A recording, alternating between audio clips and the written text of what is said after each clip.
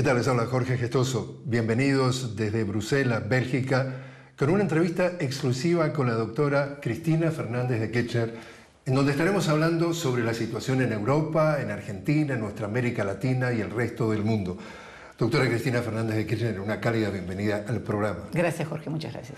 Eh, doctora, ¿cuál es el logro que más le impactó de Europa en esta entrevista y cuál es la asignatura pendiente que más encontró que le falta a Europa en esta gira?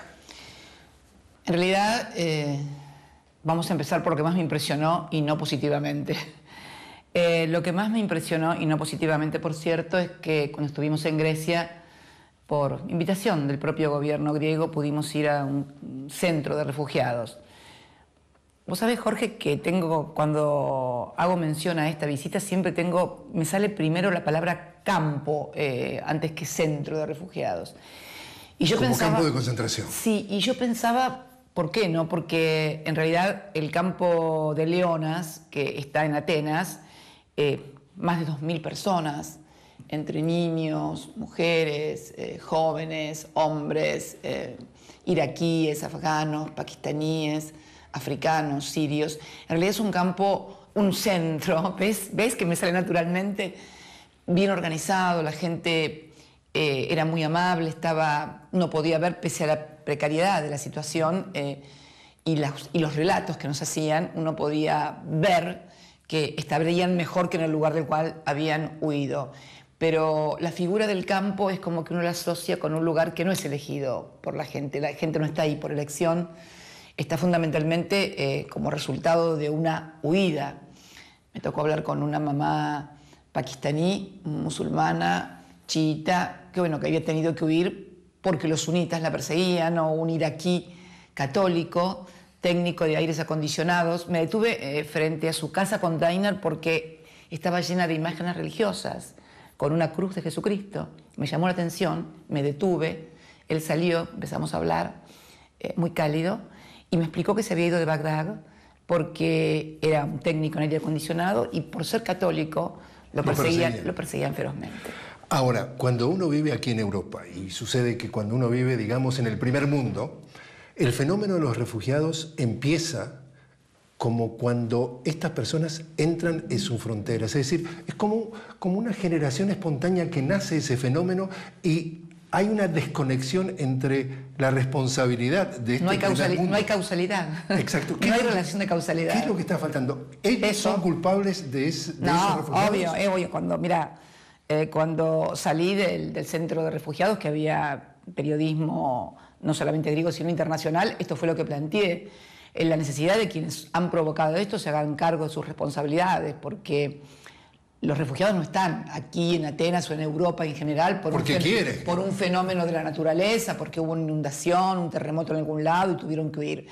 Escapan de, guerras, de persecuciones religiosas, de la imposibilidad de desarrollo económico, muchos en, sus lugares de origen, eh, pero fundamentalmente por las situaciones bélicas y de persecuciones religiosas que se dan en tantas latitudes. ¿no? Así que me parece que en este sentido Europa no está a la altura de los acontecimientos porque ha tenido restricción ahora para el ingreso de refugiados.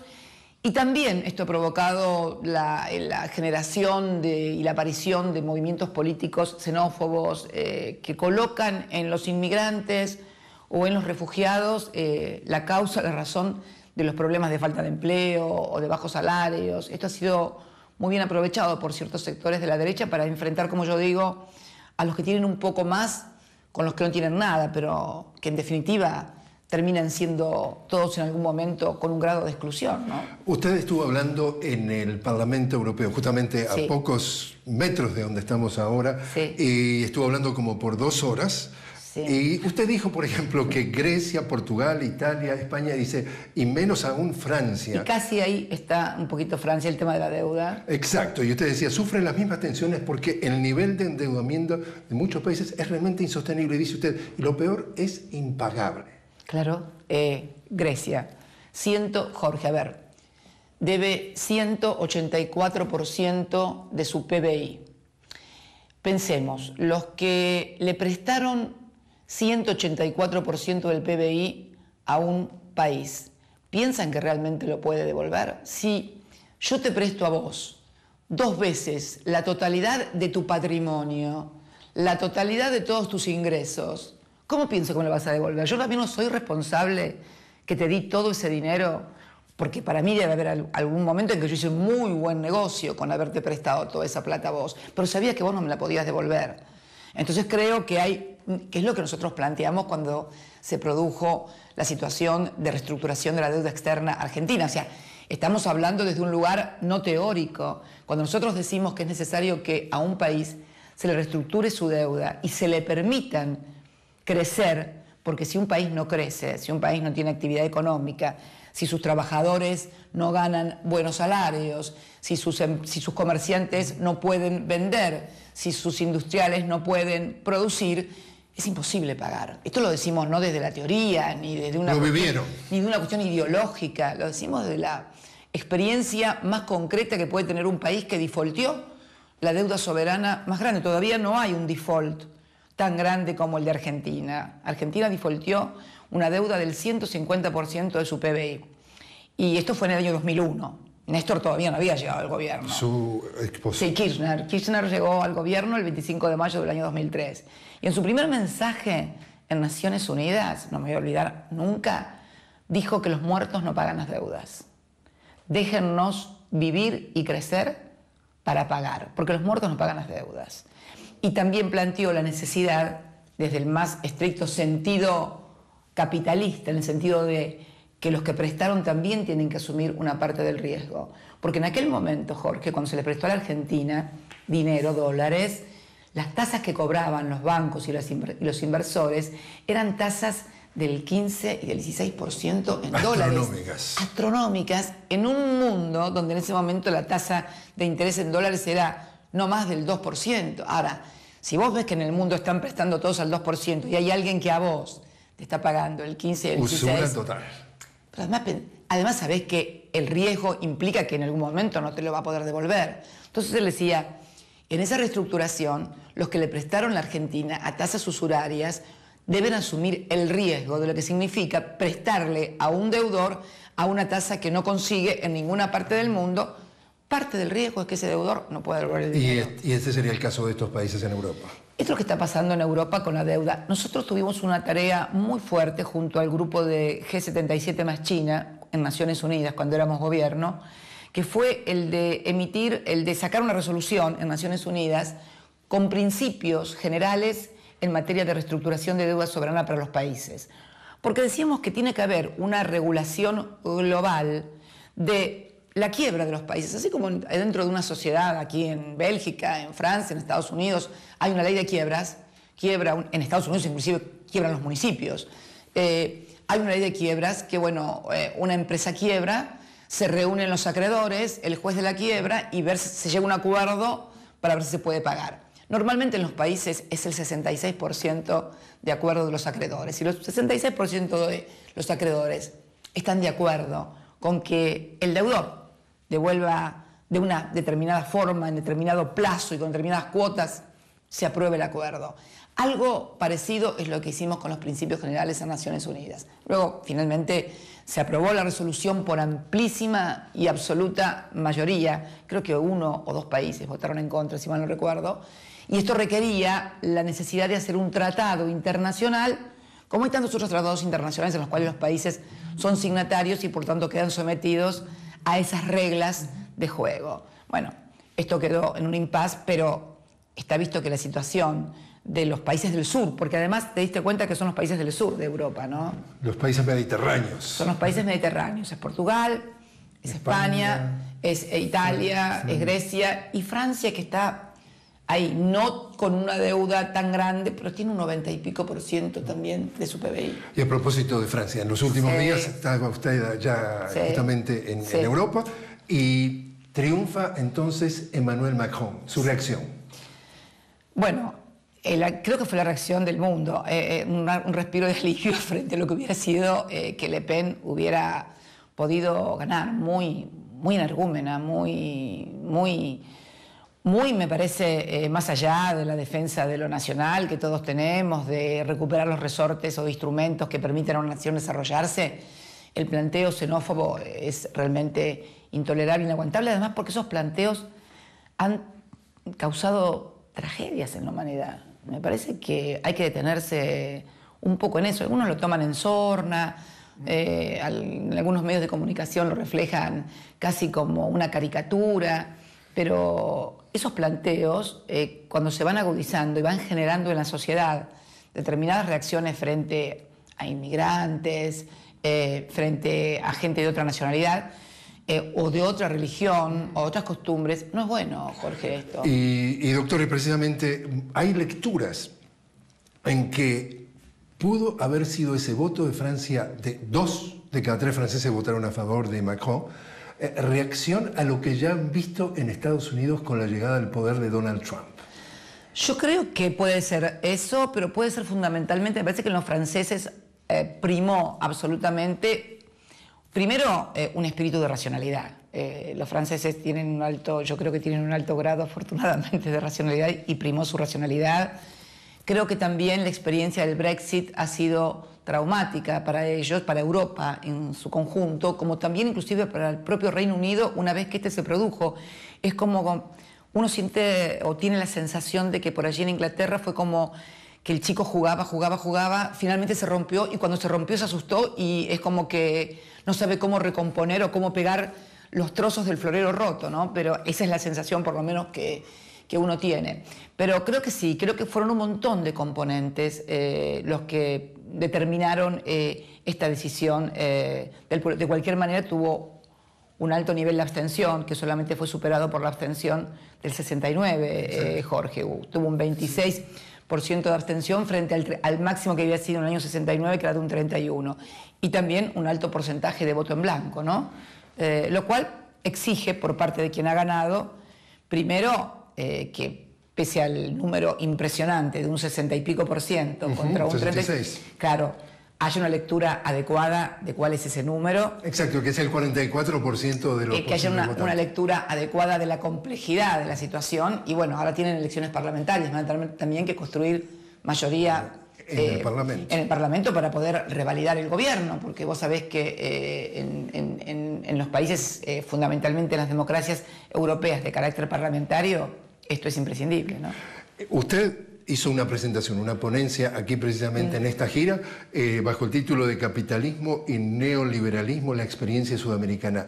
¿Cuál es el titular de eso? Y la crisis democrática te faltó, porque ahí va la cuestión. Eh, es un poco lo que planteábamos frente a los eurodiputados el otro día. Yo creo que el neoliberalismo eh, es una construcción política que el capitalismo hace cuando el estado de bienestar ya no es necesario por la caída del muro de Berlín.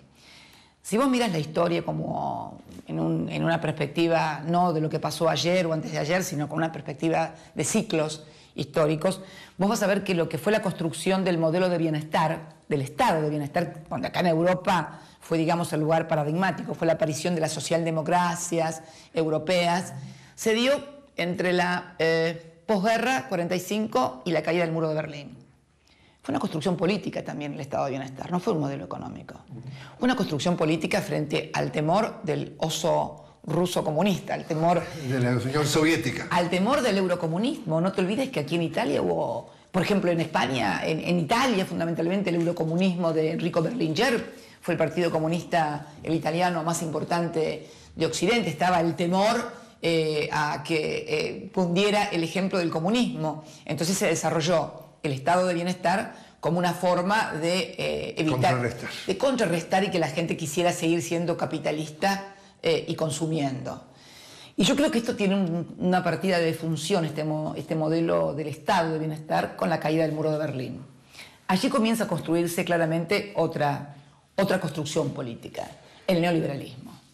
Porque si el estado de, bienestar te decía, bueno, el Estado es responsable de las políticas de educación, de salud, de que vos puedas tener vivienda, bueno, ahora eso no era necesario.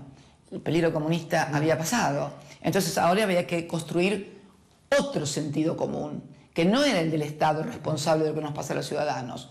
Vos sos responsable de lo que te pasa. Si vos tenés trabajo, es por vos. Y si no tenés, también es por vos. Es culpa suya. Es culpa. Esta es la construcción más importante del neoliberalismo, al que algunos, le adjudican un, contenido, no, el contenido económico es el capítulo, pero es una construcción política de, generar un sentido común en la sociedad. ¿Y qué impacto en la democracia? Y impacta mucho porque de repente, en la, la crisis democrática también es una crisis de un modelo de representación política. Yo lo decía el otro día, Jorge, estamos con el modelo que se creó en 1789 con la Revolución Francesa. estos, estas constituciones, la constitución que es un contrato social, en la cual se organizan las reglas de juego de una sociedad. nuestras sociedades están conformadas con un poder legislativo, poder judicial y poder ejecutivo. Decime, en el 100% de lo que es el poder, el poder en un país, ¿cuánto representan estas instituciones? Yo creo que no más del 30% del poder real. Entendido el poder como aquel que puede tomar y adoptar una decisión y que esa decisión se puede aplicar y sea respetada por el conjunto de toda la sociedad y de todos los factores económicos. Entonces, ¿por qué? Y porque estamos con un modelo que data de 1789. Esto lo, idearon Rousseau, Montesquieu, la Revolución Francesa. No había luz eléctrica en la Revolución, cuando la Revolución Francesa, Jorge. No existía el auto. Y resulta que ahora tenemos estos celulares maravillosos, inteligentes, que nos conectan con Internet, donde tenemos las noticias falsas, las noticias, donde no puedes distinguir lo que es la noticia falsa de la noticia verdadera. Tenés los big data, la metadata, las, las, compañías que saben tu vida sin necesidad de escucharte, como en la vida de los otros. ¿Para qué te van a escuchar? Si hoy con los algoritmos saben qué te gusta, dónde te gusta viajar, qué compras, qué no compras, dónde vas, dónde estás, con tu tarjeta y tu celular, saben dónde estás en cualquier momento del mundo. Entonces me parece que esto exige, bueno, la reformulación de una nueva arquitectura institucional a nivel global. Doctora, el Congreso en Argentina acaba de aprobar una ley que justamente eh, elimina la decisión de la Corte Suprema que reducía las penas a los represores, una fórmula que le llamaban el 2 por 1. Por cada año que cumplían de condena le reducían dos su reacción. Bueno, eh, mi reacción no fue por la ley, mi reacción fue, y creo que la reacción de la sociedad argentina, afortunadamente, Jorge, fue cuando, antes de viajar, eh, fue que la Corte sacó este fallo, que permitía concretamente la libertad de más de 700 genocidas condenados por los delitos más aberrantes que te puedas imaginar, de desaparición forzada de personas, tortura, muerte, vuelos de la muerte, eh, desaparición de niños, violación de mujeres. Para que te des una idea, Chilingo, mm. el aviador aquel que protagonizó Vuelos de la Muerte. y, los confesó. Y los confesó. Está condenado por la audiencia eh, española. ¿En, España? en España, con una pena que creo que supera los 300 o 400 años. A ¿Tiraban vivos desde los aviones? Gente narcotiza o sea, narcotizaban a los detenidos y detenidas y semi-despiertos los tiraban vivos al, mar. Para que desaparecieran. Para que desaparecieran. Así fue el caso de las dos monjas francesas. Eh, cuya desaparición y secuestro fue acusado Astiz, pero que luego una tormenta las devolvió a la costa. O la desaparición de la ciudadana Dagmar Hagelin, sueca, que nunca más volvió a aparecer. Entonces creo que, creo que esto fue de un impacto eh, muy brutal, porque además yo pensaba en la, la revictimización de los que fueron torturados y encarcelados. Me imaginaba todos los testigos que habían ido a los juicios a declarar eh, que fueron testigos de cargo en base a testimonios en base a los cuales luego los tribunales dictaban condenas. Eh, entonces yo me imaginaba a esos testigos en la calle caminando y de repente al dar vuelta a una esquina o al entrar en un bar o al subir a un colectivo o al subte encontrarse al represor que al represor torturó. no solamente que, lo, que lo torturó o mató a su hijo y que por su testimonio estuvo en la cárcel. A ver, el otro día encontraron a un eh, represor que estaba prófugo desde el año 2010, llevaba prófugo varios años, y le encontraron, entre sus pertenencias personales, la dirección de uno de los abogados de las víctimas de violaciones a los derechos humanos, un abogado muy conocido, muy emblemático de este sector. A ver, los chicos recuperados, los nietos, por ejemplo, el chico Madariaga, que es el hijo eh, de un activista de derechos humanos que fue recuperado y que su apropiador eh, le colocó varias veces eh, el arma en la cabeza amenazándolo antes de que él recuperara su identidad. O Juan Cabandier. Y usted, eh, en, su, en su época de estudiante, en su época antes de recibirse como abogada, usted vivió todo esto porque compañeros y amigos fueron, fueron eh, secuestrados, fueron torturados, desaparecidos. fueron- o sea, lo vivió en primer plano. Sí, claro. Nuestra generación fue una generación que tuvo el impacto de lleno y de pleno. Eh, por eso tal vez algunos no puedan eh, comprender eh, lo que significó para Néstor cuando estuvo en lo que se conoce como la recuperación de la- del edificio de la ESMA, cuando el pueblo entró La Escuela de Mecánica la Escuela de Armada. Mecánica de la Armada. Sí, realmente es una cosa Que muy era un centro de tortura. Uno de los más grandes, junto con Campo de Mayo y La Perla, en pleno centro de la ciudad. Jorge, no era un campo de concentración en las afueras, en medio de un campo solitario. Y esos vuelos salían muchas veces desde el, ca- desde el Campo de Mayo. Eh, no, desde, desde Campo de Mayo, no sé si hay pista de, eh, de, eh, de aviones en Campo de Mayo, pero sí, no, de ahí de la ESMA no, porque no hay, no hay Claro. pero los llevaban, sí, y los, y los tiraban. Sí, o desde Seiza. Eh, ahora, el representante del Alto Comisionado de Naciones Unidas justamente reaccionó ante Sí, eh, esa, esa- absolutamente. y decía el, que había que respetar los estándares internacionales de derechos humanos para delitos de lesa humanidad. Es decir, que incluso esa decisión, ese fallo, ha generado además lo que le llaman una denuncia. Es decir, ya ha habido ante esos jueces lo que le llaman por precaribato. Prevaricato. Pre- pre- perdón, por Pre- pre- prevaricato. prevaricato. Sí, claro. Ese es un delito que pena a los jueces que dictan resoluciones contrarias al derecho. Es decir, generó una reacción muy, muy violenta de la sociedad. Sí, bueno, sí, claro que porque, a ver, es una sentencia totalmente contraria a derecho, caprichosa. eh, es más, contraria en el caso de una de las firmantes, eh, la jueza Elena Hayton de Nolasco, contradictoria yo no ya con tratados internacionales, con la propia Constitución, sino con fallos que la propia jueza había firmado años antes en la misma materia, con lo cual es un prevaricato, pero hecho y derecho, como decimos este, los abogados. Eh, pero realmente, ¿sabés qué pasa, Jorge? Yo lo decía el otro día cuando, antes de, viajar aquí a, a Europa, en Argentina, en una reunión que tuvimos con los sindicatos en Buenos Aires, que tenemos que preocuparnos porque esto que es impactante, porque es una cosa de los derechos humanos, donde la Argentina había tenido y ganado un prestigio en el mundo por su comportamiento y su conducta de, y los procesos de memoria, verdad y justicia, no es solamente, qué sé yo, si mañana esta corte ya no se levanta y dice que las jubilaciones, por ejemplo, eh, bueno, pueden, se- se- no, no por uno. no, eh, no- no hay que, no hay que reajustarlas o no hay derecho. Cuando vos avanzás en un grado tan terrible, en cuestiones que ya estaban saldadas por la sociedad ¿Y cómo se que, te, que te está mirando el mundo, que no tenés explicación, ¿qué cosas no puedes hacer respecto de otros derechos que no son tan visibles? ¿Qué cambió, doctor? Que no son- eh, cambió el gobierno. Cambió el gobierno de orientación absolutamente neoliberal y cambió el marco, porque este fallo, Jorge, este fallo está precedido por un montón de actitudes, de dichos y de políticas. Por empezar, desmantelamiento de las políticas y de los programas en materia de derechos humanos que tenía el Ministerio de Justicia. Esto está precedido por un presidente que dijo el curro de los derechos humanos, por funcionarios que decían, no, no es cierto, no hay 30.000 desaparecidos, son 7.000 o 9.000 y se acordó esa cifra de 30.000 en una mesa de negociaciones.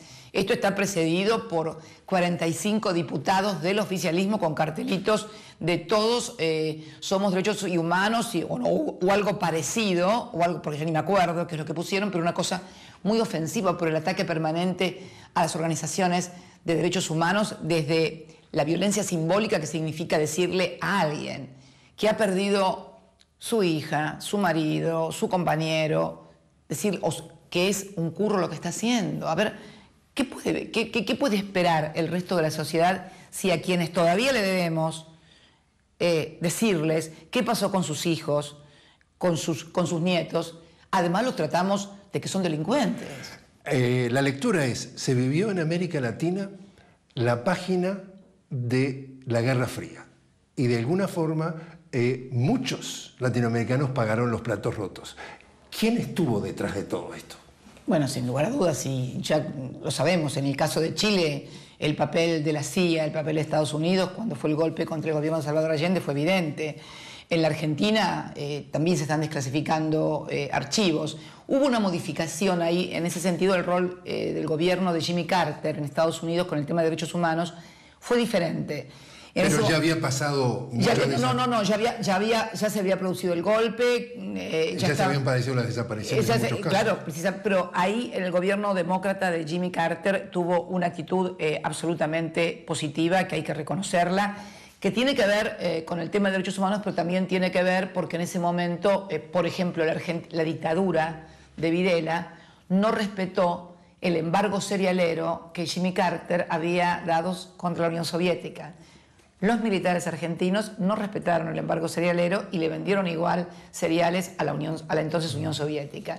Esto también puede haber determinado este, enfrentamientos, porque, por ejemplo, el resto eh, no hubo, por ejemplo, un activismo tan grande como con lo que pasó en Chile, por ejemplo, en el 73, como lo que pasó en Argentina. Pero lo cierto, lo real, lo que es insoslayable y que no se puede ocultar ni negar es que el gobierno demócrata de Jimmy Carter tuvo una actitud muy positiva en materia de derechos humanos con respecto a la dictadura genocida. Doctora, el diario Clarín, el 27 de abril, le leo el titular, llenar un carrito de supermercado en Argentina ya hacerle 50% más que en Europa y los argentinos tienen un tercio del ingreso de los europeos. ¿Qué está pasando?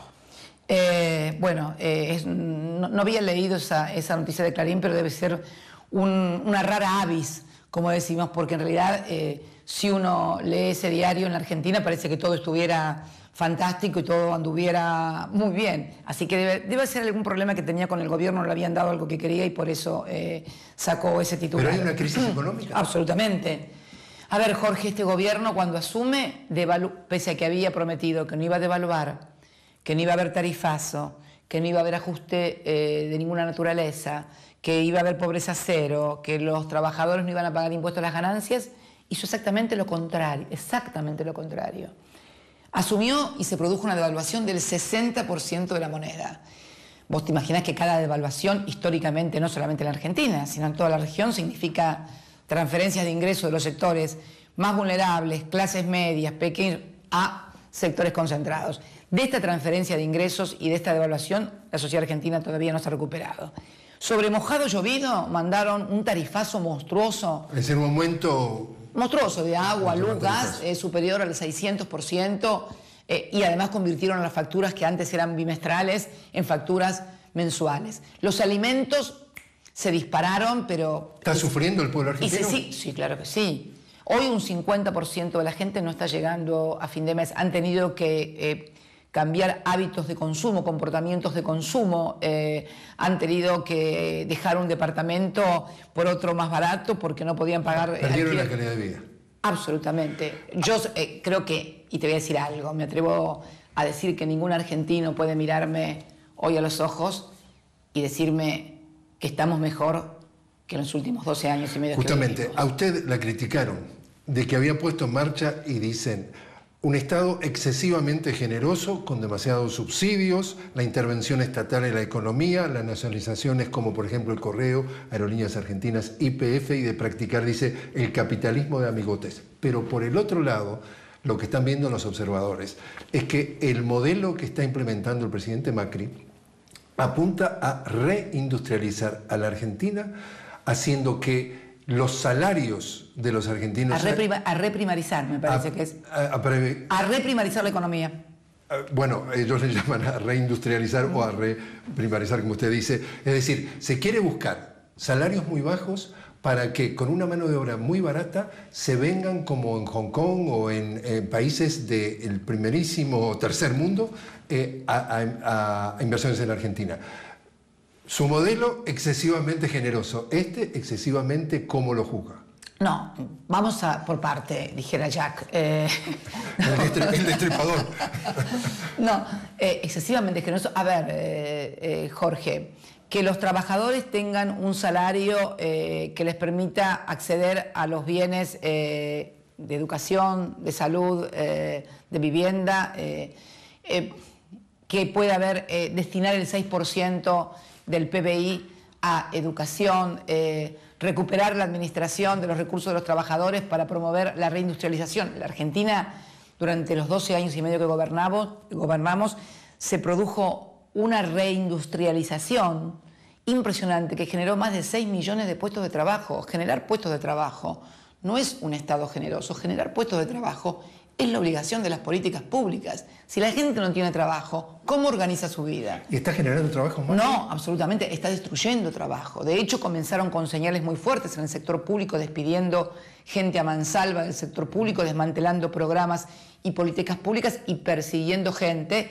echándola. Y allí el sector eh, privado que mira lo que hace el Estado y por lo tanto sabe que hay señales que le permiten hacer determinadas cosas o no, también en estos, en estos momentos, en estos meses, ha habido un, digamos, un recrudecimiento de despidos, cierres de fábricas, han cerrado miles de comercios, han cerrado cientos y cientos de fábricas, pero no te estoy hablando solamente de fábricas pequeñas, te estoy hablando de reducción de líneas de producción enteras de grandes empresas, te estoy hablando de alpargatas, te estoy hablando de grandes empresas textiles, te estoy hablando de General Motors, que ha reducido turnos y, y no viene nada a cambio. General, pero pero ¿por qué va a invertir alguien cuando se ha instalado en el país la bicicleta financiera? si vos, hoy tenés dólares, si vos hoy tenés dólares, vas a la Argentina, los cambiás en pesos, comprás LEVAX, que son instrumentos eh, que emite el Banco Central, y por esas LEVAX te pagan intereses del 25%. Se llegaron a pagar intereses de más del 30%. O sea, no es necesario producir. Pero no, y las renovás cada 35 días. O sea, no es que tenés que dejar ese instrumento depositado dos años. No, no, no, son cada 35 días. Han emitido en este año eh, y cuatro meses de gobierno más de 700 mil millones de pesos en LEVAX. Es más que toda la base monetaria y es casi el equivalente al total de las reservas en dólares. Entonces, yo vengo de afuera soy un fondo inversor en dólares. Cambio los dólares, lo pongo en pesos y en cualquier momento retiro y llevo dólares y tengo una tasa en dólares del 25%. Decime dónde existe eso en el mundo. Somos el país del carry trade. Creo que estamos en primer o segundo lugar. Primero creo que está Brasil y segundo estamos nosotros. Hoy el país es muy generoso, pero ¿sabés con quién es el país hoy muy generoso? Este Estado, ¿con quién es muy generoso? Con los de la timba financiera, con los especuladores financieros. Nosotros, nosotros teníamos un Estado no generoso, un Estado que incluía a trabajadores, a jubilados, a pequeños comerciantes, a pequeños productores, a industriales, a científicos, a estudiantes, a docentes. Este es un Estado absolutamente generoso con los que más tienen. Redujo impuestos a las, a las eh, grandes exportadoras cerealeras, a las grandes exportadoras mineras y además les paga intereses fantásticos a los inversores y especuladores internacionales. Ellos son generosos, pero con los que tienen mucha plata son generosos. ¿A dónde va la Argentina entonces? Creo que vamos por mal camino, creo que vamos, porque además esto lo viví, esto no te lo digo ya como expresidenta, esto te lo digo como una persona que milita en política desde muy joven.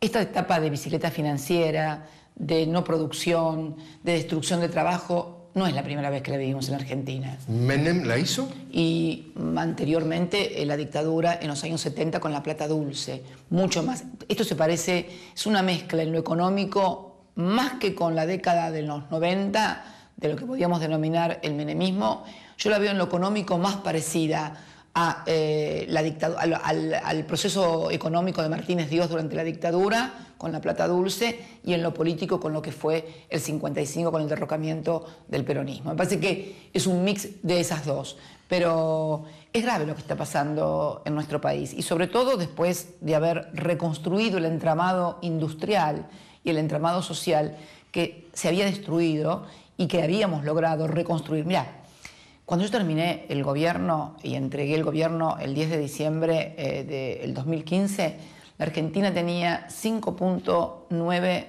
de desocupación.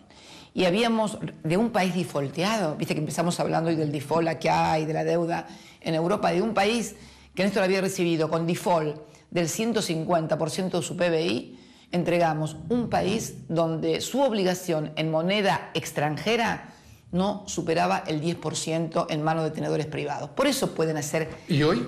No, hoy, eh, por ejemplo, el gobierno de Macri endeudó a la Argentina en un año y cuatro meses más que lo que la dictadura lo hizo entre el 24 de marzo de 1976 y el 83. eso en dólares. ¿Está hipotecando el futuro de los próximos hijos? absolutamente. Eso en dólares. Porque si además yo te sumo las LEVAX, estos 700 mil millones de pesos, estamos hablando de 80 mil, 90 mil millones este, de dólares de endeudamiento. ¿Preocupante? absolutamente. Que se, se puede hacer por el bajísimo, bajísimo nivel de endeudamiento que dejamos nosotros. Nunca la Argentina tuvo un nivel de endeudamiento como el que nosotros dejamos. Creo que debe ser equiparable al que había en 1976 cuando el golpe militar. Es como que hubiéramos retrocedido eh, como el juego de la oca, ¿viste? Que vuelva al principio, es como eso, volver al principio. Doctor, aquí en el Parlamento Europeo, cuando hizo su presentación, usted dijo que el presidente de Argentina, Mauricio Macri, es un presidente ilegítimo y usted lo acusa de liderar un gobierno neoliberal que llegó, sus palabras, con una maquinaria que solo habla de nosotros, dice usted. Un gobierno que no ha tenido el respeto por la democracia que tuvimos nosotros, que no respeta las instituciones. Bueno, vamos a ir por parte. No, no dije nunca que era ilegítimo. Hablé eh, de legitimidad eh, y legalidad porque yo recordaba cuando Néstor asumió en el gobierno con el 22% de los votos y entonces todo el mundo andaba preocupado que como no había habido balotaje, iba a ser un gobierno que no iba a tener legitimidad y que iba a tener legalidad. Y yo les dije en ese momento, vamos a tener legitimidad porque vamos a gobernar de una manera que vamos a tener legitimidad social. Y así fue. Lo que dije es que en el caso del actual gobierno, dije, lo califiqué como una estafa electoral. ¿Por qué estafa electoral? Porque en realidad en la campaña se dijo exactamente lo contrario a lo que se hizo, lo cual me parece que Pegándolo con lo que te dije antes de una nueva arquitectura institucional, Jorge, las democracias necesitan mecanismos donde los gobernantes que se comprometen en campaña a hacer algo, cuando lleguen al gobierno, cumplan con el contrato electoral. ¿No están cumpliendo? No, no, claro, no, claro que no. Pero si esto está documentado, si en este mismo momento, mírate el debate presidencial, donde inclusive se acusó a nuestro candidato de estar mintiendo y de haberse convertido en no sé qué cosa, cuando eh, hablamos de devaluación, cuando hablamos de ajuste, de tarifazo, de gente que iba a perder el trabajo. Todo esto está pasando y todo esto fue prolijamente negado. Es más, si uno mira la línea de tiempo, es como que advirtieron que por las encuestas debían decir que el fútbol para todos iba a seguir, que no se iba a privatizar aerolíneas argentinas, que IPF tampoco se iba a privatizar, que se iban a respetar los derechos de todos. ¿Y pasó? Y bueno, y después ganaron las elecciones y con apenas un punto y medio tampoco, porque no es que hubo una, un pronunciamiento de la ciudadanía de 10, 12 puntos de diferencia, que vos decís, qué contundencia, el, apoyo, la diferencia. No, no, no, fue apenas un voto y medio y diciendo exactamente lo contrario a lo que iban a hacer, diciendo, nadie va a perder nada, todo lo que está bien se va a dejar y vamos a cambiar únicamente lo malo. Estas fueron las palabras. Eh, ayúdenos, ayúdenos a entender. Sí. Con los ataques que usted está teniendo con la justicia o de parte de la justicia. El Poder Judicial, vamos con a el poder, justicia. con los ataques que usted está teniendo por parte del Poder Judicial y de los medios de comunicación. ¿Cómo explica que usted tiene los niveles de apoyo y de popularidad que tiene? Bueno, a mí no me gusta hablar de mí misma, porque veo que los políticos tienen una tendencia autorreferencial muy importante que terminan aburriendo a la gente porque parece que lo único importante fueran ellos. Eso que lo estudie algún sociólogo o que lo estudie algún politólogo. Lo que a mí sí me parece muy mal, me parece horrible, es la persecución política que hay en nuestro país. En nuestro país hay presos políticos. Milagro Sala, la dirigente social del movimiento social Tupac Amaru, está presa sin causa. Acaba de llegar al país una comisión, eh, una misión de la Comisión Interamericana de Derechos Humanos para verificar esta situación de injusticia sobre la cual ya se pronunció. Se está utilizando en este caso la figura de la prisión preventiva sobre una dirigente social simplemente para tenerla de rehén. ¿Y en su caso? Hay presos, hay presos bueno, el armado de causas políticas sin pies ni cabezas o denunciando las cosas que uno tenía declarada en su... no es que me, encontraron cosas que... yo no estoy en los Panama Papers, eh, Jorge. El presidente y toda su familia sí lo encontraron en paraísos fiscales. A mí nadie me encontró en paraísos fiscales. ¿Sabe por qué? Porque no estoy en ningún paraíso fiscal. Y todas las denuncias versan sobre cuestiones que están en mis declaraciones juradas de impuestos y mis declaraciones juradas como funcionaria son causas absolutamente armadas con un solo fin, la persecución política, asustar, amedrentar. Lo dije ayer y lo vuelvo a repetir, pueden armar 80 causas judiciales más. ¿Y cómo explica la popularidad entonces? Eh, bueno, eh, eso, eso, eso es que lo explica algún politólogo y me parece que tiene que ver con la historia de uno, con las cosas que hemos hecho en el gobierno y con lo que podemos mostrar fundamentalmente eh, en todo lo que se ha hecho en las políticas. Recién acabo, hace unos días estuve reunida con el titular de la Internacional de Educación, que agrupa a más de 400 sindicatos en el mundo. Aquí en Europa. Aquí en Europa y a más de 170 países. El reconocimiento a la labor que ha tenido Argentina en materia de educación, en materia de ciencia y tecnología. Eh, a ver, hemos lanzado al aire dos satélites construidos. Un país que estaba difolteado. Al cabo de 12 años y medio pudo lanzar dos satélites en materia de geoestacionarios, en materia de comunicación, construidos en nuestro país por científicos argentinos y por empresas argentinas. Eh, bueno, en energía nuclear. O sea, hemos dado un salto cualitativo en estos 12 años y medio que a mí realmente, como esto no ya ni como militante política, ni como expresidenta, como ciudadana argentina, realmente el retroceso que estamos viviendo en todos estos campos y ahora en materia de derechos humanos, bueno, no, no me pone contenta ni feliz, al contrario. Ahora, vamos a usar eh, un poco la lógica. Y la lógica dice que eh, usted describe una situación económica de crisis, digamos, o de retroceso al menos.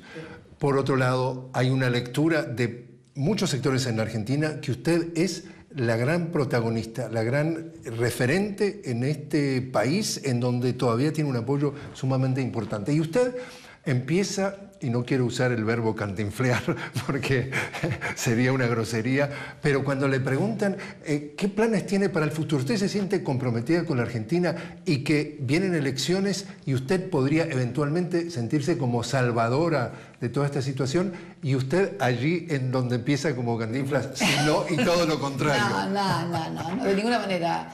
Eh, Jorge, mira, eh, hemos tenido reuniones con dirigentes de nuestros espacios políticos y de otros espacios políticos. Me parece que no hay salvadores y no hay construcciones eh, individuales. Yo creo que... Pero siente responsabilidad que lo puede salvar. Absolutamente. La responsabilidad, la pero no siento responsable, no me siento responsable únicamente por ser expresidenta, me siento responsable como ciudadana argentina. ¿Y qué va a hacer? Me parece que cada uno de los argentinos debe sentirse responsable de la construcción democrática, de la construcción de su país. Eh, me parece que no es eh, momento de, discutir en estos ámbitos. Yo creo que, sinceramente, Jorge, él me quiere sacar la primicia y el titular para mañana seguramente, pero no, creo que, creo que no contribuiría a la construcción de una alternativa el que uno definiera tal o cual cosa y no lo hiciera en un conjunto. Me parece que esto es la construcción colectiva. Es una de las cosas de las que hablaba el otro día cuando me tocó hablar en el Parlamento Europeo, la necesidad de volver a construcciones colectivas y que no pivoteen sobre una persona o sobre una individualidad. Me parece que esto es central. Y no cantinfleo. y no cantinfleo. Lo dejamos, lo dejamos sí, no cantinfleo. Queda en la lista de los no, no, conocía ese término. ¿Cómo es eso de cantinflear? Yo no, nunca le presté Porque. Porque decía sí, no y todo lo contrario. ah, bueno. es muy bueno cantinflear. Eh, doctora, eh, ¿usted recuerda eh, Malcolm X, el, el famoso luchador por los derechos civiles en Estados Unidos, tiene una frase muy famosa que dice, la prensa es la entidad más poderosa del planeta, puede hacer inocente al culpable y culpable al inocente, y eso es poder, dice, porque controla las mentes de las masas. Usted, precisamente acá en el Parlamento Europeo, dijo, los medios manipulan a los ciudadanos y estamos frente a una sociedad que no está capacitada para leer lo que pasa detrás de las noticias, no tiene instrumentos como para poder leer todo lo que le dicen y le cuentan. ¿Cuán grave? Me encanta esa pregunta. Y me encanta, me encanta la pregunta, Jorge, porque, y no voy a cantinflear, no tengas, no tengas temores, porque precisamente algunos quisieron desvirtuar esto como que yo decía que la gente no entendía nada. No, no, no, me refiero que lo que vos recién mencionabas a través de este reconocido dirigente de los derechos civiles en los Estados Unidos. Lo que ha escrito cientistas sociales como Humberto Eco, como tantísimos otros acerca de lo que es hoy el poder de los medios de comunicación y también lo que ha surgido ahora en los últimos tiempos como la, la posverdad, esta famosa eh, identificación de lo que para mí es la mentira directamente. Los medios dicen mentiras, aparecen mentiras en las redes y todo genera unas... Hay una, eh, una, una nueva forma de comunicación a partir de lo que son las big data, de, lo, cómo, de cómo estudian el comportamiento de las sociedades, de cómo estudian tus gustos, sin necesidad de escucharte, de ponerte auriculares, simplemente siguiéndote a través de tus compras en Internet, a través de tu Facebook, a través de tu Twitter, y entonces definen perfiles y te envían a vos noticias que van de acuerdo a tu perfil y a tu forma de pensar, que por allí no son ciertas, pero que tienen que ver más que con tu deseo de informarte que coincidan con tus creencias. Porque en definitiva ya no es tanto lo que pasa, sino lo que vos creas que pasa. ¿Y en Argentina cómo está afectando todo esto? Esto está afectando, en, esto es global. Mira, te voy a contar algo. Este, estuve en Moscú, eh, todavía era presidenta, me tocó, eh, lo, quería conocer a Edward Snowden, el famoso eh, este americano, hackeador, que, bueno, que desmanteló lo que era la NSA, la, Agencia de Seguridad, Nacional. Bueno, y realmente es algo impresionante escucharlo cómo se puede determinar lo que hizo o lo que va a hacer una persona sin necesidad de escuchar una sola palabra de lo que habla a través de de su celular. Simplemente con algoritmos, o sea, eh, metodología que calcula y que establece una interrelación de todo lo que hace esa persona y además los perfiles y demás. Entonces, frente a este grado de tecnología, a este grado de eh, información, leía el otro día que en los dos últimos años el mundo produjo tanta información, escuchad lo que te voy a decir, tanta información que si uno tuviera que poner esa información en libros, tendría 4.000 pilas de libros, más de 4.000 pilas de libros que van desde la Tierra hasta el Sol, en los últimos dos años. En los últimos años se produjo más información que en toda la información de la historia, de la prehistoria hasta el 2014. Esto lo comentaba el otro día un, científico eh, de Estados Unidos. Entonces, este grado de información este grado de sofisticación en la interpretación de datos, este mandarte una noticia sabiendo cómo te va a impactar y qué te va a decir, no le permite hoy a la sociedad, pero no a la sociedad en la Argentina, a la sociedad global, a la sociedad global, poder leer y decodificar adecuadamente qué hay atrás de cada uno de esos mensajes y cada una de esas noticias. Para que lo entiendas, cuando nosotros éramos, teníamos 20 años, Éramos jóvenes. Éramos jóvenes, además, éramos modernos en la década de los 70 o 60, que había dictaduras en América Latina. No existían estos medios de comunicación, pero te comunicabas por eh, diario, eh, por radio y por televisión. Y estaba todo muy controlado la información porque las dictaduras no decían lo que pasaba. Cada uno decía en la televisión lo que le permitían. no había redes sociales. No había redes sociales y cada uno. Pero nosotros desconfiábamos de todo lo que aparecía en los medios de comunicación. Bastaba que el medio de comunicación dijera A, pero nosotros dijéramos, ah, no, seguro que es B. Si decían, no, es blanco, no, seguro que es negro. Estábamos preparados este, intelectualmente y estábamos preparados fundamentalmente a lo que conocíamos el contexto en el cual se producía la información y al conocer el contexto en el cual se producía la información sabíamos de esto que pasaba y por lo tanto no creíamos. Hoy la gente, la sociedad global, no los argentinos o, los brasileros, no, no, no. La sociedad global recibe un cúmulo de información que está absolutamente direccionada y que no puede, no alcanza a distinguir qué es verdad y qué es cierto, qué es importante y qué no. Ahora, precisamente a propósito de todo eso, vemos la concentración de medios en América Latina que sigue siendo un hecho. Ustedes en la Argentina denuncian el grupo Clarín, etcétera, etcétera, en donde se puede de alguna forma eh, presentar los mensajes a determinado nivel. Y se ve un patrón que se repite, que se está repitiendo en América Latina. por ejemplo, la acusan a usted con temas de eh, cuestiones judiciales. Se le pasa, usted lo acaba de ver, que a, Lula da Silva en los últimos días estuvo declarando cinco horas y dice que es un fraude. Por otro lado, que las elecciones son fraudulentas, lo quiso hacer eh, Guillermo Lazo en, Ecuador. Ah. Eh, lo mismo se ha dado en Venezuela, que acusaban también la legitimidad. O sea, hay una relación directa entre los mensajes que se crean eh, a través de estos medios, como dice Malcolm X y usted también, que puede ser al inocente culpable y al culpable inocente para descalificar a todo lo que es progresista y de alguna forma de hacerle que sea totalmente desacreditado. ¿A dónde vamos con estos mensajes dirigidos para descalificarlos a, usted y al resto de dirigentes que han estado junto con usted manejando América Latina en los últimos años? Mira, Jorge, lo que vos señalás es la modificación de los patrones de eh, intervención eh, en las sociedades democráticas. Durante la década de los 60 y los 70, América Latina se caracterizó por los golpes militares. Hubo dictaduras militares, o sea, cómo se intervenía desde afuera para derrocar gobiernos. Afuera era eh, el norte, la gran potencia del norte. ¿Cómo intervenían en América Latina? Bueno, intervenían a través de las Fuerzas Armadas. ¿Y hoy? Golpes militares. Hoy es aparato judicial como poder contramayoritario poder judicial vitalicio en todos lados, como una rémora monárquica. ¿Y los medios? Ah, y los medios de comunicación, articulando medios de comunicación, sistema judicial, bueno, eso es hoy lo que está operando sobre e interviniendo. Son los nuevos golpes. Son los nuevos golpes suaves. Son, es más. ¿Qué se puede hacer? Es más, es más, voy un poquito más allá. El neoliberalismo está utilizando los instrumentos democráticos para dar golpes de Estado.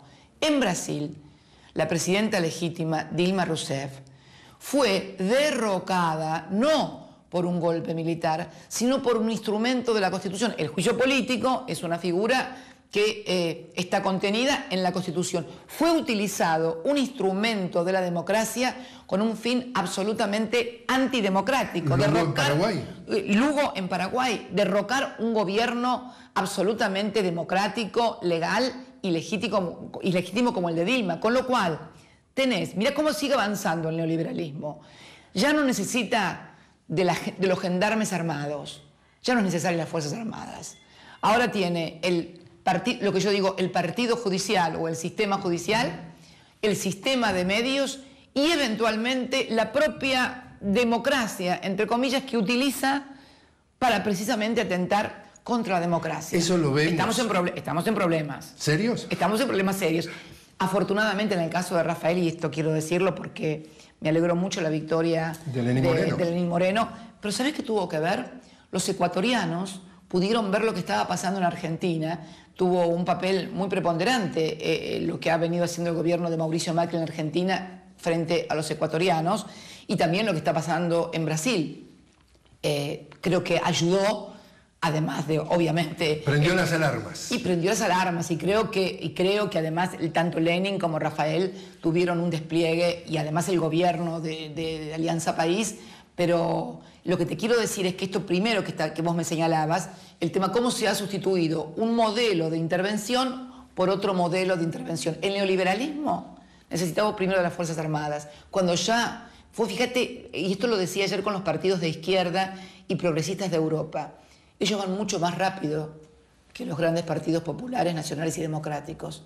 Evolucionan en sus think tank, evolucionan mucho más rápido y encuentran los métodos para poder intervenir de manera cada vez más eficiente e inteligente para sus objetivos. Y ese juego del que usted eh, anuncia o, absolutamente eh, encuentra entre el Poder Judicial, los medios, está afectando a Venezuela, Ecuador, Bolivia, Em, eventualmente Nicaragua, cualquier país de, em, una tendencia progresista para, para, justamente como objetivo final derrocar?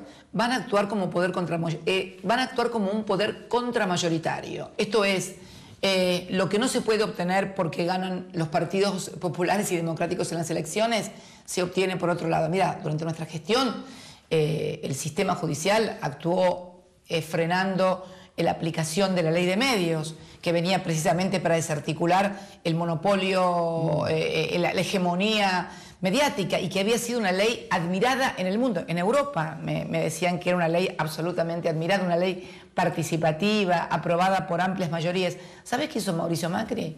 Las derogó por un decreto de necesidad y urgencia. Porque decía que no, era, no había democracia, no había libertad de expresión. Pero, pero, eh, pero, Jorge, una ley que tuvo un nivel de participación. Nunca se recuerda en la historia de la República Argentina una ley que se haya elaborado con el grado de participación de foros regionales, provinciales. Se discutió en todo el país la ley. Una vez que la ley se discutió en todo el país, con todas las provincias, se discutieron con todas las organizaciones eh, sociales, se fue al Parlamento. En el Parlamento se siguió discutiendo y en el Parlamento fue aprobada en ambas cámaras por una amplia mayoría que excedía la de nuestra fuerza política. Bueno, todo eso, todo eso fue derogado por un decreto de necesidad de urgencia, de los que se decían democráticos y que nos acusaban de autoritarios a nosotros. Jorge, nadie puede decir que yo he tenido una decisión que haya sido tomada eh, sin el consenso parlamentario inclusive cuando tuvimos el problema con las patronales rurales, ¿te acordás? En el año 2008,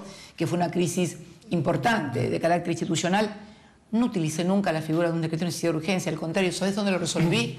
Con más democracia. Lo mandé al Parlamento. ¿Y sabes qué? Perdí en el Parlamento. Y cuando perdí en el Parlamento, ¿sabes qué hice? Acepté resultado. ¿Cómo es el juego democrático? Porque eso es ser democrático. Ahora, los movimientos progresistas, los gobiernos progresistas en América Latina hoy, eh, los ve amenazados, estamos viendo que permanentemente a nivel mundial, ya no, es a, nivel, regional, eh, las imágenes que eligen para mostrar la situación en Venezuela son absolutamente digitadas.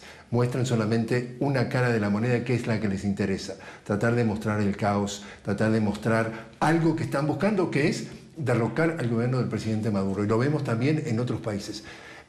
¿Le preocupa este tipo de situación? Mucho porque Primero me preocupa que se instale la violencia como una metodología para acceder al poder o para derrocar un gobierno. primero, es esto lo primero que me preocupa. Pero además creo que la utilización de generar... Lo que ayer un, el otro día un eurodiputado eh, eh, de Eslovenia, creo que era, eh, planteaba el tema este de las mentiras, de cómo se puede presentar algo frente a los medios de comunicación como una mentira. Y a mí se me ocurrió la figura de los paraísos mediáticos eh, y de los infiernos mediáticos. ¿Viste que hay paraísos fiscales?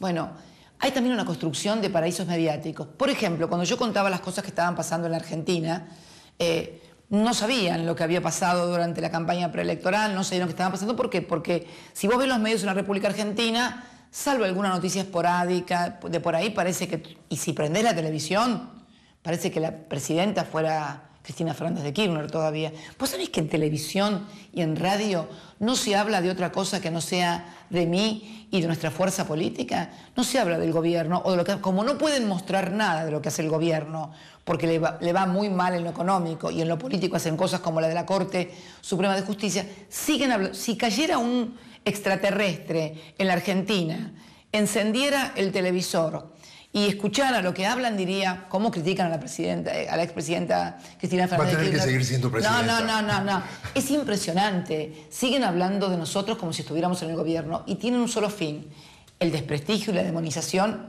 pero el otro, oculto, es no hablar de lo que está pasando con este gobierno concreto. Distraer, exactamente. Y esto que decís vos de crear figuras de infierno mediático en donde o es un paraíso o es todo un infierno. Bueno, esto también forma parte de un modelo de intervención política en la región y en el eh, mundo, en el mundo. Y hablando del mundo, ¿qué es lo que más le preocupa en el mundo si lo vemos desde los ojos de nuestra América Latina? China, Rusia están jugando en nuestra región. Estados Unidos con el presidente Trump, ¿le preocupa? Me preocupa fundamentalmente el grado de irracionalidad muchas veces, ¿no? Que es, eh, y también me parece que la cuestión de Medio Oriente es un tema clave.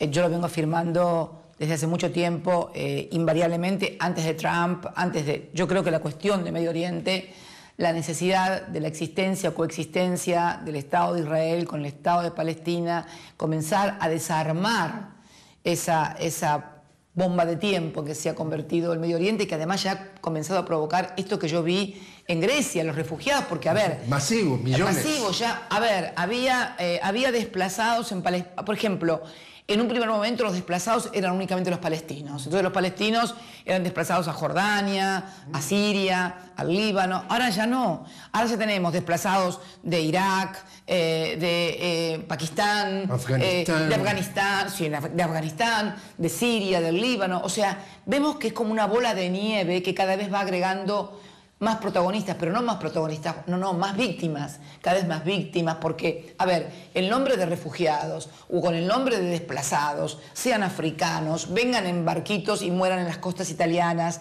sean refugiados que vienen por Turquía para, para este, llegar a Grecia o intentar ingresar a Europa que no los dejan. Es una tragedia humanitaria, Jorge. Que Esto empezó como una tragedia del pueblo palestino, esto empezó como una. Medio Oriente empezó como una tragedia del pueblo palestino y hoy es una tragedia del pueblo afgano, del pueblo iraquí, del pueblo pakistaní, de Siria. O sea, ¿te das cuenta de la cantidad de gente que se fue agregando de, actores involuntarios? Porque además. ¿Es el negocio de la guerra? Eh, es el negocio de la guerra y, y, de actores involuntarios porque nadie quiere irse de su país a refugiarse en otro. Pero esto empezó primero con la tragedia de los desplazados palestinos y hoy ya están desplazados, los afganos, los iraquíes. ¿Hasta cuándo? Y esto no tiene miras de parar. Yo lo dije en una reunión del Consejo de Seguridad, no era presidenta, Argentina integraba el eh, Consejo de Seguridad de Naciones Unidas, viste que ellos tienen sus cinco miembros permanentes y luego tienen los que vamos rotando. En ese momento lo tocó Argentina, yo participé, estaba el presidente Obama y pregunté quién era el que armaba al ISIS. Eh, porque cuando yo veía desfilar en, camionetas Toyota eh, con armas de última generación fabricadas ya sabemos dónde, porque se podía reconocer fácilmente, ¿quién arma? Eh, o sea, ¿quién, ¿quién es el responsable de todo esto? Entonces, este, evidentemente, la cuestión de Medio Oriente, como siempre lo sostuve, mucho antes de que tuviera este agravamiento feroz, mucho antes de que apareciera la figura de los refugiados, creo que fueron las, inclusive lo, planteó Néstor también en el, seno de Naciones Unidas, es una cuestión vital. Resolver la cuestión de Medio Oriente, yo creo que es resolver la mitad de los problemas que tiene la humanidad y me parece que a lo mejor un poquito más. Tengo tres preguntas finales. Sí. Hemos visto que durante la década pasada los gobiernos progresistas, una de las cosas que impulsaban de manera muy clara era la integración regional. Desarrollo de CELAC, desarrollo de UNASUR, de Mercosur lo que estamos viendo de que se está tratando de desarticular todo eso. ¿Preocupante? Muy, pero me tengo que hacer una autocrítica y nos tenemos que hacer una autocrítica los eh, gobernantes eh, de los gobiernos progresistas de la América del Sur y de la América Latina. Es cierto lo que vos señalás, se dio una integración política a través de Mercosur o de CELAC nunca vista, Jorge, pero nos quedamos únicamente en la integración política, no avanzamos en la integración económica, que era lo que debíamos haber profundizado, porque si hubiéramos avanzado y profundizado aún más en la integración económica, hubiera sido mucho más difícil desarticular la política. Es cierto también que en términos históricos, cuánto tiempo eh, generó eh, y duró y, nos insumió el armado político, una década entera. Los procesos de integración política no son procesos que se hacen en cinco, seis años, siete o diez, requieren una continuidad de los, procesos de integración. Pero creo que nos faltó eh, darle mayor densidad, darle mayor profundidad a la integración económica. es para aprender.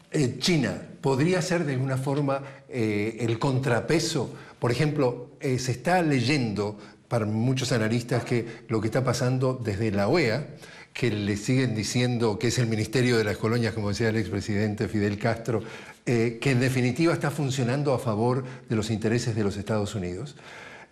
¿Podría ser entonces eh, China una forma de apoyando economías que en este momento están golpeadas por la caída de los precios de los commodities, de las materias primas, una manera de eh, empujar que estas economías no se desinflen y le den el material de justamente de consumo para que esos medios de comunicación descalifiquen y traten de derrocar gobiernos, ¿podría jugar un papel China?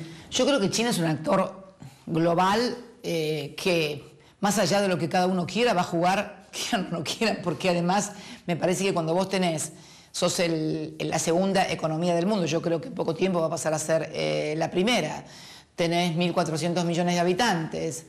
Si uno piensa en el desarrollo de China, eh, Jorge, vos pensás que en el 49, en el 50, cuando Mao, cuando Mao en el 49 llega a Beijing luego de la larga marcha, eh, los chinos comían la corteza de los árboles porque había una gran hambruna en Chile, en China. Yo te lo decía siempre cuando eh, firmé la alianza estratégica eh, con primero Néstor con Xi Jinping y yo luego la profundicé con eh, Xi Jinping. Ustedes piensen que en el año 49, cuando nosotros los argentinos, por ejemplo, construíamos locomotoras, aviones, rastrojeros, bueno, en ese momento China comía las cortezas de los árboles porque habían pasado una gran hambruna.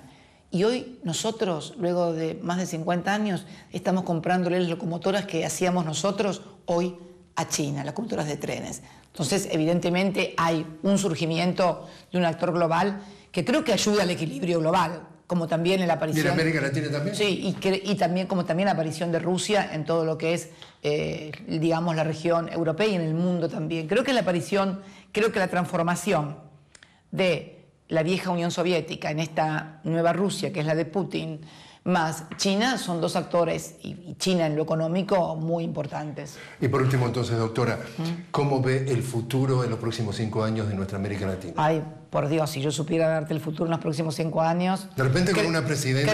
Creo, que me pongo una bola de cristal, un turbante, y este, pero creo, mm, creo que eh, lo que pasó en Ecuador y el deterioro que están eh, teniendo sociedades como en lo económico y en lo social, como lo que estamos viendo, por ejemplo, en Brasil, donde tuvo lugar hace pocos días eh, la huelga general, la primera huelga general desde hacía 20 años de la magnitud que lo tuvo.